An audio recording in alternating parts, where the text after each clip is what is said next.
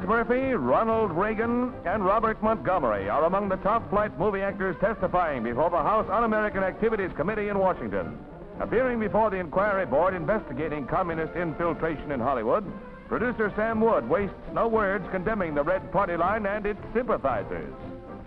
No, sir, I haven't. I think that you need. I think you have to awaken the public to the fact that they are here and what they're doing. And I think uh, the underground, of course, they've always got reasons for not doing anything to them. I mean, they're underground or they're a liberal. And they thump their chests and they're liberals. But any, if you mention that you're opposed to the Communist Party, then you are anti-labor, you're anti-Semitic, you're anti-Negro, and you always end up a fascist. But uh, they never start that until they find out that you're opposed to the Communist Party. So if you wanted to drop the rompers, and look, you'd find the hammer and sickle on the rear end, I think. Thank you very much, Mr. Wood. One of the strongest advocates of a national communist purge is Adolphe Menjou, veteran screen actor. The subversive forces who have tried unsuccessfully to color the motion picture screen with red propaganda meet a strong opponent in Mr. Menjou.